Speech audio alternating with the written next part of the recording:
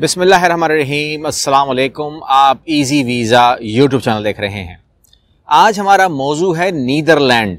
Visa के हवाले से आप लोगों ने बहुत सवाल किए हैं कि नीदरलैंड के हवाले से वीडियो बनाई जाए और वहाँ पर जितने भी ऑप्शन अवेलेबल हैं, उन तमाम को बारी बारी डिस्कस कर लिया जाए जल्दी से, ताकि हमारे सामने आ जाए कि हमारे पास ऑप्शन हैं क्या। तो मैं आपके साथ शुरू कर रहा हूँ। इसमें कोई शक नहीं है कि नीदरलैंड जो है अपॉर्चुनिटी के लिए बहुत बेहतरीन है। अगर आप इसका फ़ायदा उठाएँगे तो आप उठा सकते हैं। और कोई एक ऑफ़र या कोई एक अपॉर्चुनिटी आपके लिए होगी, आप उसको कर सकते हैं। सबसे पहले वो लोग जो अपने काम में महारत रखते हैं they called high skilled worker उनके लिए अलग कैटेगरी बनाई गई है।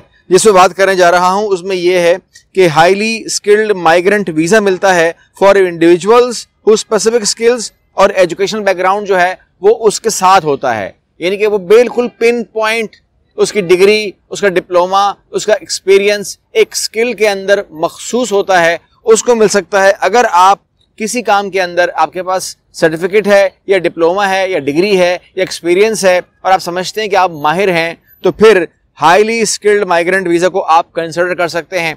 इस पर हम अलग से बात भी कर सकते हैं, और आप सर्च भी कर सकते हैं नीदरलैंड को लेकर के।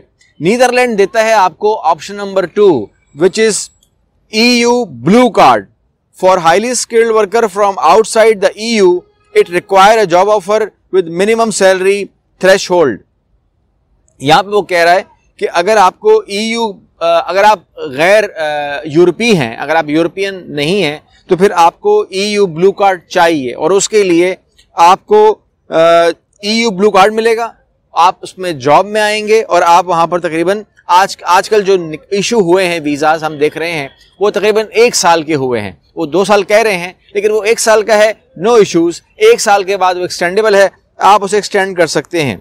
इसके बाद तीसरा ऑप्शन दे रहे हैं नीदरलैंड वाले, और उसे कहते हैं इंट्रा कॉपरेट ट्रांसफ़र यानी कि फॉर एग्ज़ाम्पल अगर आप किसी ऐसे कंपनी में काम करना शुरू कर देते हैं कि जहाँ पर आपका इंट्रा कॉर्पोरेट ट्रांसफ़र हो सकता है आप अपना ट्रांसफ़र करवा सकते हैं तो इस बात को नीदरलैंड अलाउ करता है। You can easily shift from your country to Netherland same काम के ऊपर आप चले जाएँगे कंपनी आपको इंट्रा ट्रांसफ़र दे सकती है। उस कंपनी की एक ब्रांच या हेड ऑफ़िस या कोई भी सिस्टर कंसर्न कंपनी वो नीदरलैंड में होनी चाहिए। या आपकी कंपनी मल्टीनेशनल है और उसकी एक ब्रांच नीदरलैंड के अंदर भी है तो आप अपनी कंपनी से इंट्रा कॉपोरेट ट्रांसफ़र ले सकते हैं। ई e कहलाता है ये।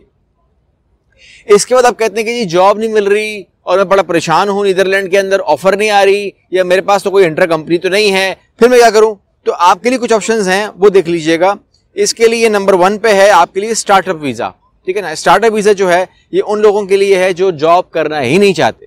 जब जॉब करना ही नहीं चाहते तो ये जॉब में अप्लाई भी नहीं करेंगे और इनको मिलेगा स्टार्टअप वीज़ा यानी कि काम शुरू करने वाला वीज़ा स्टार्ट करने के लिए for entrepreneurs who want to start and innovate business in Netherland वो तमाम लोग जो अपना काम, नया काम शुरू करना चाहते हैं, अब बेशक वो पाकिस्तान में पहले से कर रहे हैं, या इंडिया में, या बांग्लादेश में, या कहीं पर भी जहाँ वो अवेलेबल हैं, चाहे वो पहले से काम कर रहे हैं, या अब वो करने जा रहे हैं तो ईजिली वो लोग जो है, वो इंटरप्रनोर प्रोग्राम के अंदर स्टार्टअप वीज़ा के अंदर आ सकते हैं, अपना आइडिया शेयर करें, अपना आइडिया उनको पहुंचाएँ, आप खुद पहुँचा सकते हैं, खुद पहुंचाएँ आप हमसे कहेंगे तो हम पहुँचा देंगे। आपकी आवाज़ को, आपकी बात को, आपकी रिक्वेस्ट को पहुँचा दिया जाएगा। और अगर वो अप्रूव होता है तो you can get a startup visa जो कि बहुत बड़ी चीज़ है।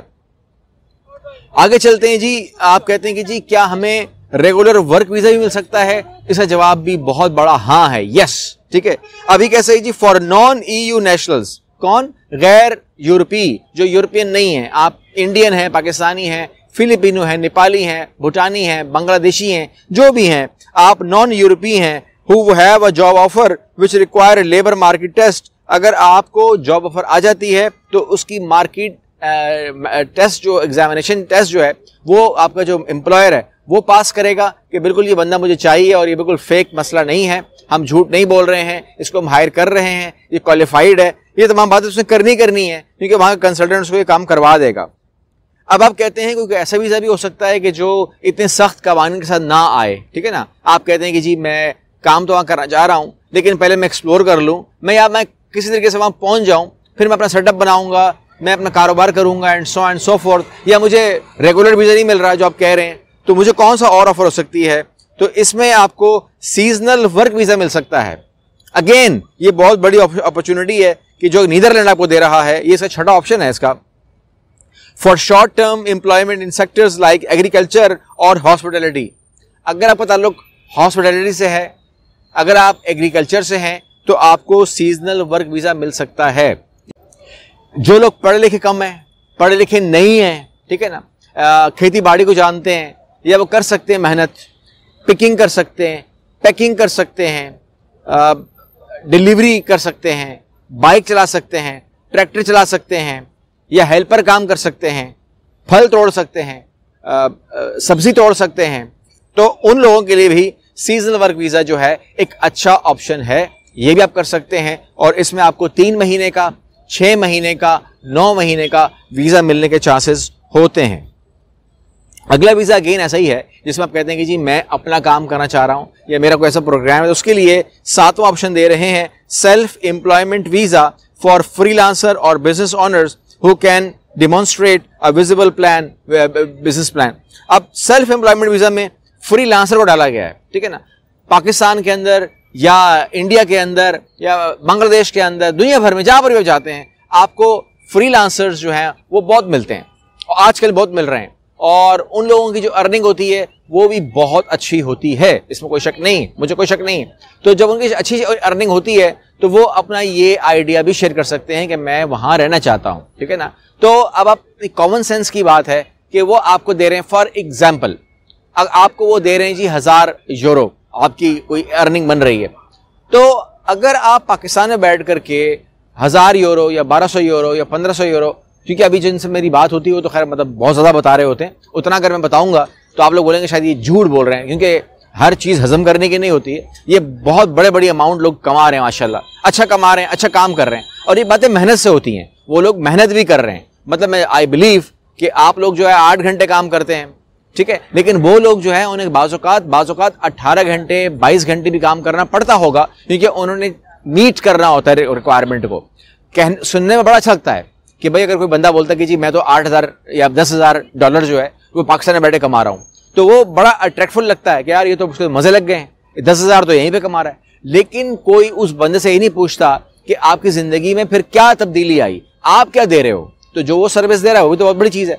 तो अगर ऐसे ऐसे आदमी को आप कहीं भी मूव करोगे तो क्या फ़र्क पड़ता है उसको? यानी कि नीदरलैंड को या लेग्जमबर्ग को या अमेरिका को या कनाडा को क्या तकलीफ़ पहुंचेगी? अगर वो वहाँ लैंड करेगा, वो कर रहेगा। क्योंकि वही आठ हज़ार यूरो या वही पाँच हज़ार यूरो या वही तीन हज़ार यूरो, या वही दस हज़ार यूरो जो है, वो उसके अकाउंट में पाकिस्तान में नहीं आएँगे, इंडिया में नहीं आएँगे, वो उसके पीछे नीदरलैंड में आ जाएँगे। तो डे नेवर माइंड इसी तरीके का एक बोनस ऑप्शन में दे रहा हूँ, नौवा ऑप्शन और वो ये है nomad visa you can also apply for nomad visa अगर आप फ्री आंसर हैं, और आप कहते हैं कि जी मैंने इन प्रोसेस के अंदर आना ही नहीं है तो फिर आप नोमैड वीज़ा भी अप्लाई कर सकते हैं. You can stay in Netherland you can stay in forty two countries by this अगर आपकी अर्निंग कम है, उसके लिए अलग मुल्क हैं। अगर आपकी अर्निंग ज़्यादा है तो उसके लिए अलग मुल्क हैं। ये तमाम ऑप्शंस भी आप ले सकते हैं। तकरीबन तकरीबन मैंने आपको अभी अभी बहुत जल्दी से 10 मिनट के अंदर नौ ऑप्शन दे दिए हैं। अब इसके अंदर आपने करना ये है कि अपनी असेसमेंट करें। अपने आप को पहचानें, अपनी सीवी को देखें, अपने आप से पूछें कि तुम कौन हो? स्किल्ड वर्कर हो एंटरप्रनोर हो, कौन हो? और उसके बाद उस प्रोग्राम को पकड़ के आप प्रोसेस करेंगे तो कामयाबी मिलेगी। नौ के नौ प्रोग्राम एक बंदे के लिए कभी नहीं हो सकते। इस तमाम के तमाम आज भी जो आप बात हुई है वीडियो में, इसमें एक प्रोग्राम आपके लिए है, सिर्फ़ एक आपके लिए है, ठीक है ना? आउट ऑफ़ नाइन प्रोग्राम अब आपने खुद डिसाइड करना है कि मेरे लिए कौन सा है। अगली वीडियो मिलते हैं इंशाल्लाह। आप बहुत सारा ख्याल रखिएगा। अल्लाह हाफिज़।